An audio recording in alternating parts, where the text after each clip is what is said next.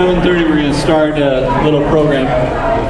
Um, we have a slideshow that will uh, go on. Okay. Did you get off this? We're gonna play first?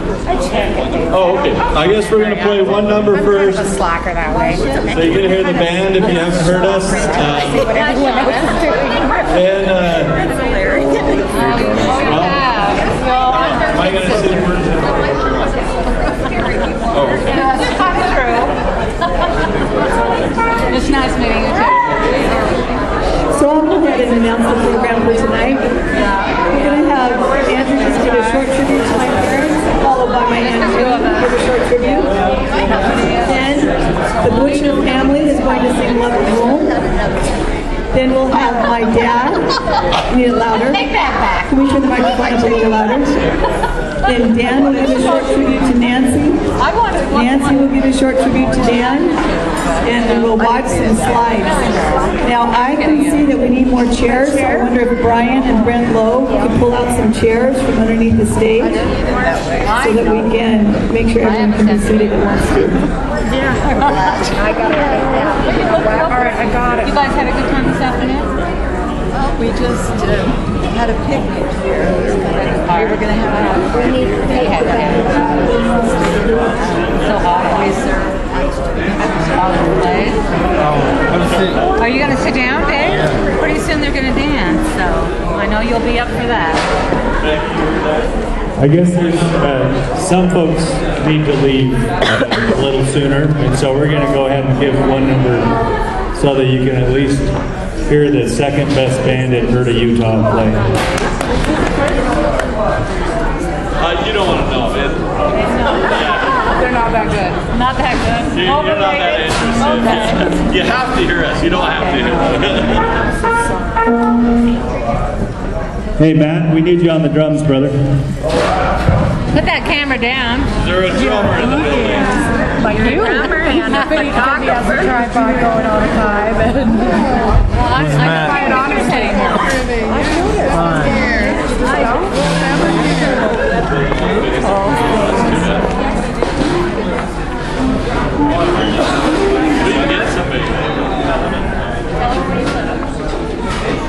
We can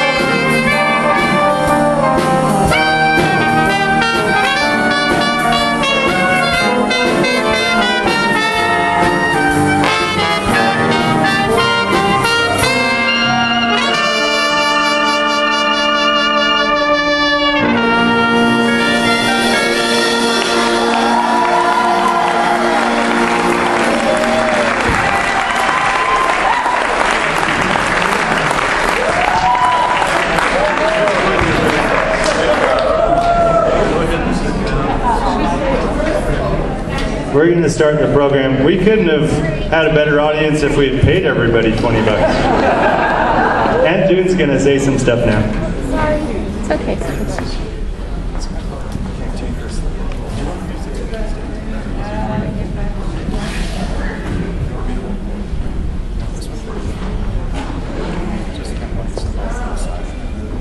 My name is June Anderson Lockyer Jensen, and I am a sister-in-law to Nancy and Dan. I've known them and been in their family for 45 years. So, I adore their family.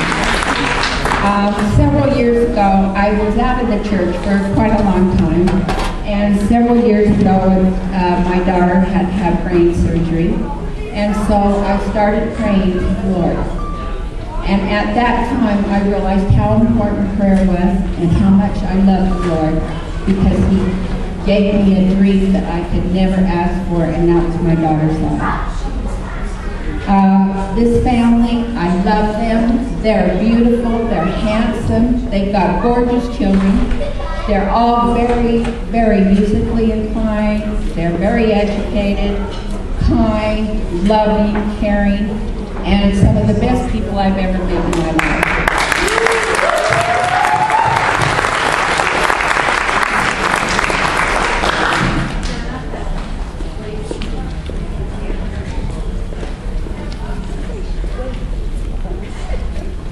How can I express the importance of our thoughts and sufficiency in order to convey the true meaning of life?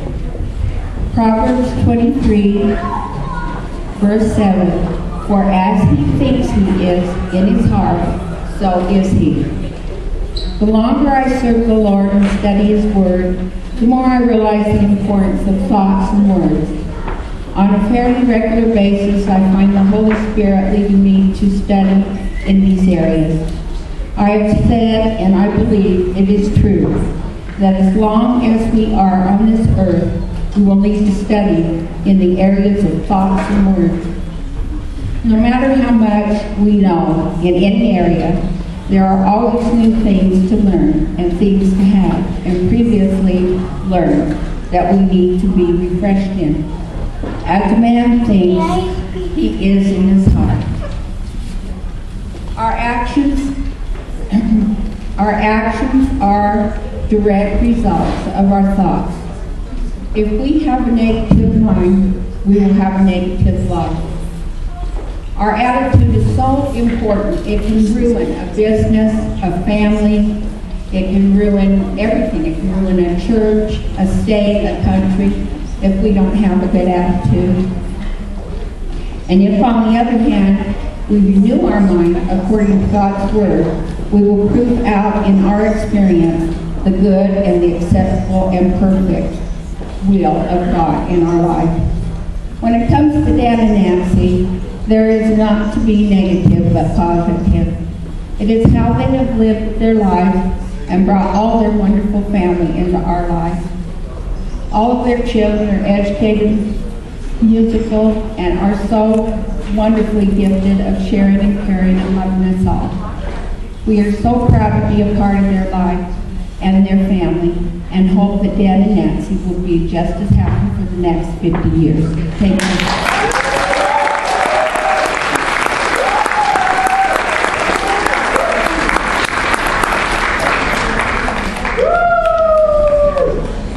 All right. Um, my sister Becky hit me up to do this just this afternoon, so I, I didn't really prepare anything. So, um, but uh, I I want to try to speak in behalf of my siblings um, and their spouses and, and the whole family.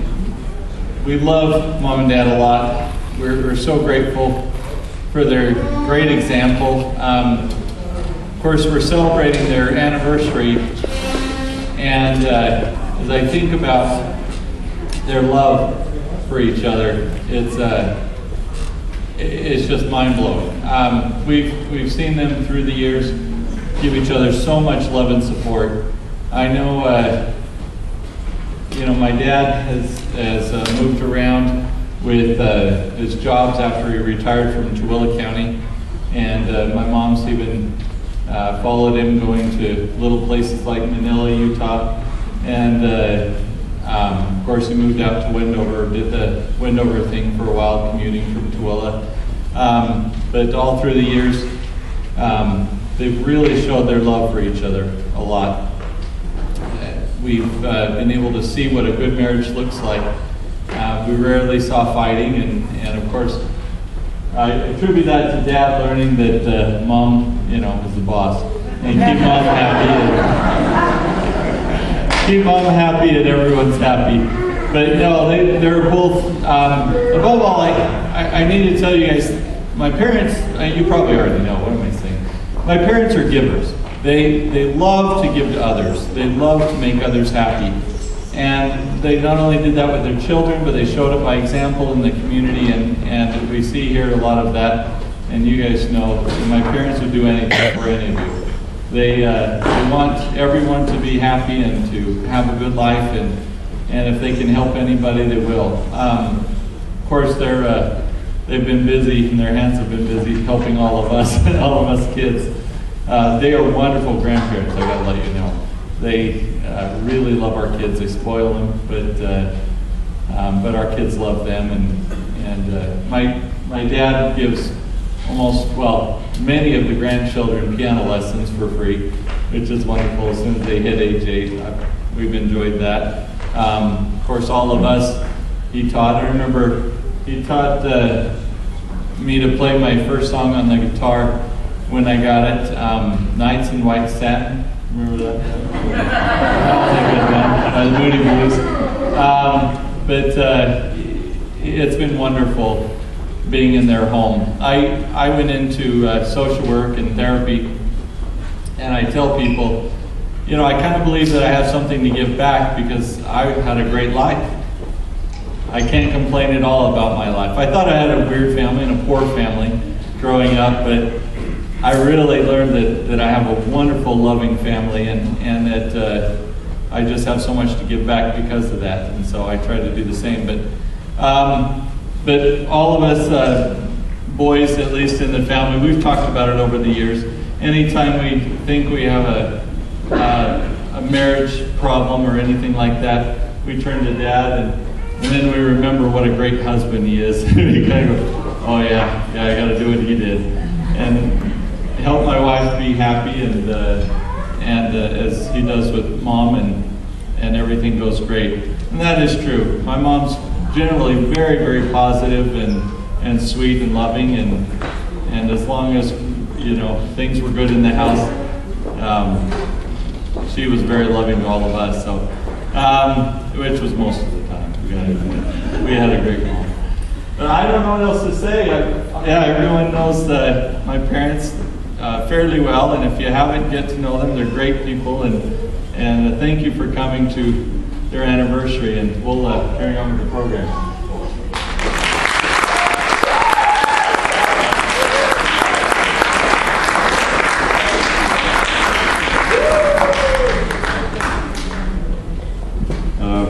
When I was courting a beautiful blonde a few years ago,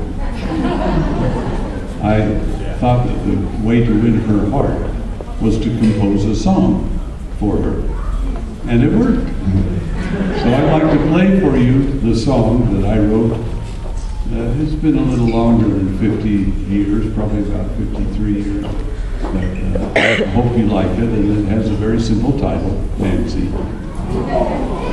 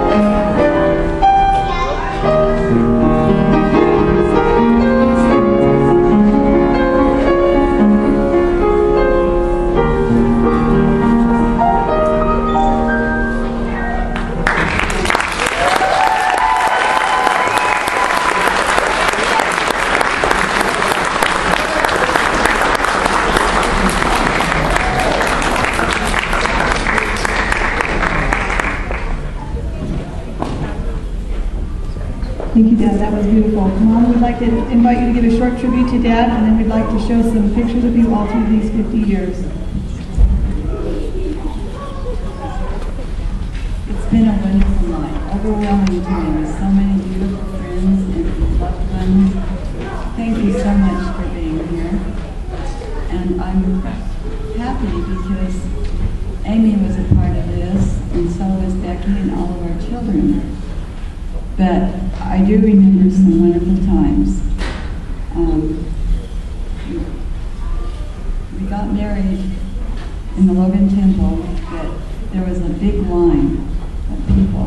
Two blocks long. and I remember waiting there patiently. And when we got there, there was so many other people getting married that we had to wait and wait. But it was well worth it. And the memory of, of the day that we had our marriage is so special. And I remember that my father me that I had to marry him because I had a choice of two people, and he only wanted Dan because he was so good in music. so that is one reason why I chose him, but I chose him because of his spiritual, he's a spiritual giant, and he is wonderful to other people. And he loves music, but he loves the gospel too. And throughout our life, we've moved from different places, but our places are wherever we have lived. And I've loved all his friends and all of our friends, and I'm grateful to you for your friendship to us. Thank you so much.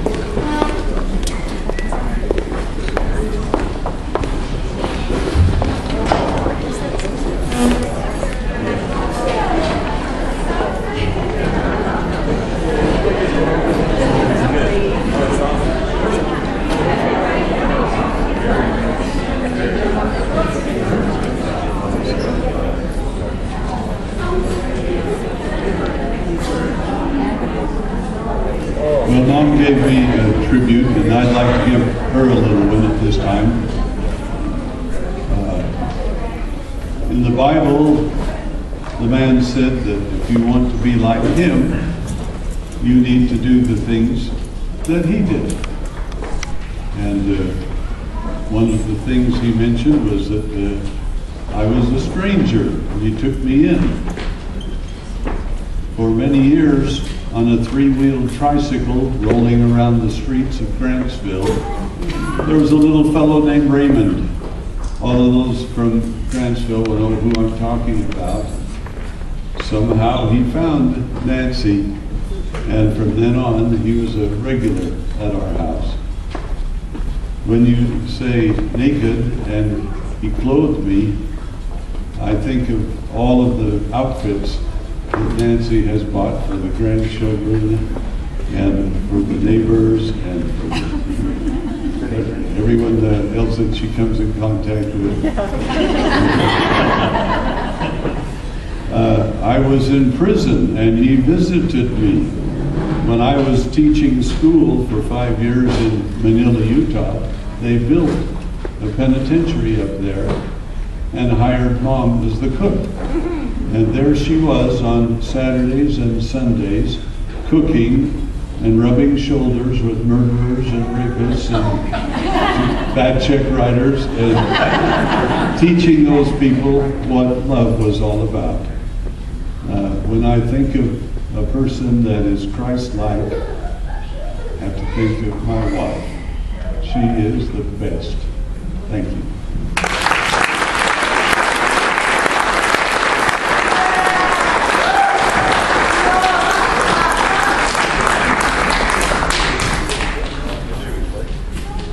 I guess.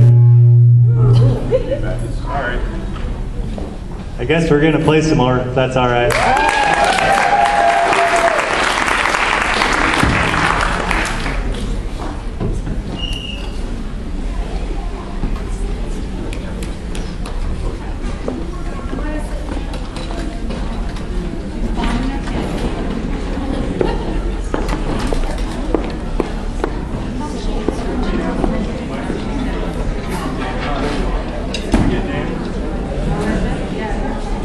Can you come hold the mic again?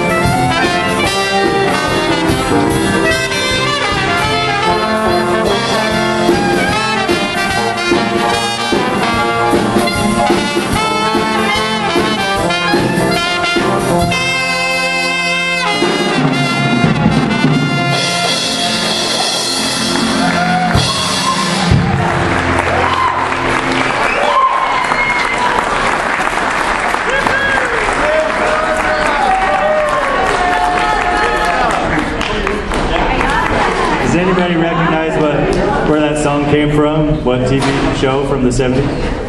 That's right, The Jeffersons.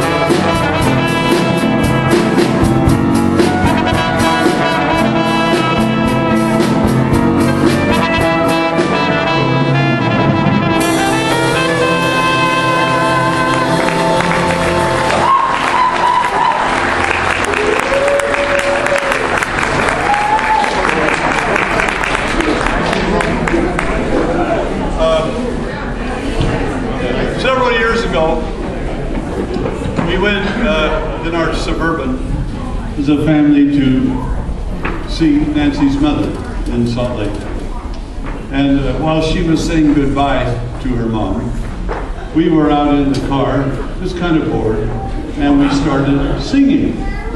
And we sang, You Lost That Lovin' Feeling. Well, right over the fence from us was a swimming pool, and someone from on the other side of the fence made a comment after we got through, You guys ought to learn how to sing. Uh, anyway, Matt Price was with us that and uh, is Matt, Matt still here? Matt, will you come up and help us out with this song?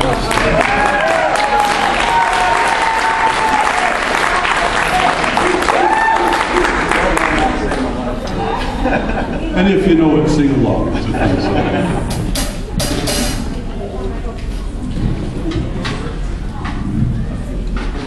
just like to point out that that's, uh, that's the church version of that story.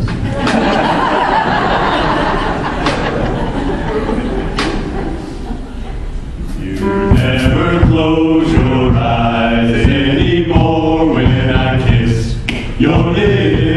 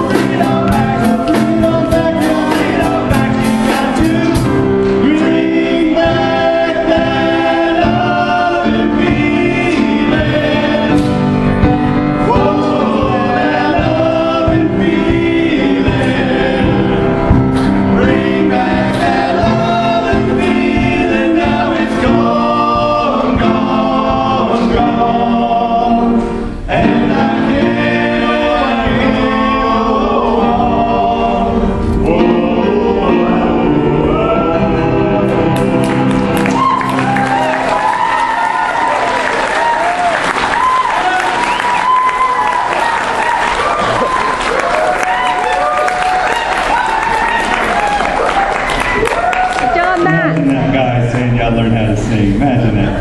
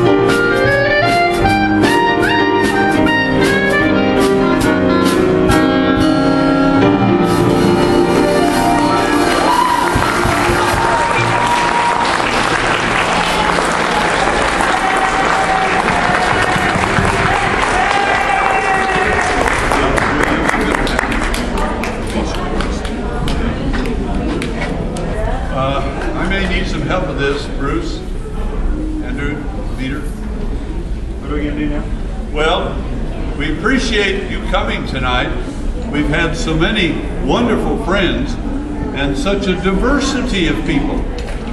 And uh, strange thing happened just as we were about to get started tonight.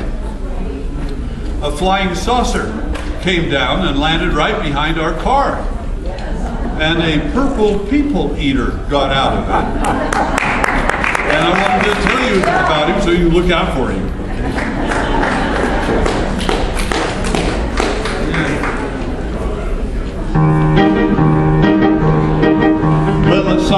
Saw the thing coming out of the sky. One long horn, one big eye.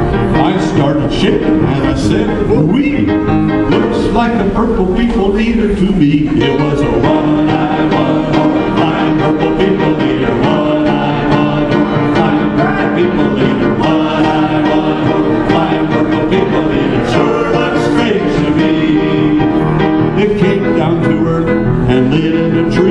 I said, Mr. Purple People Eater, don't eat me. I heard him say in a voice so rough, I wouldn't eat you because you're so tough. Was a one-eyed, one-horned,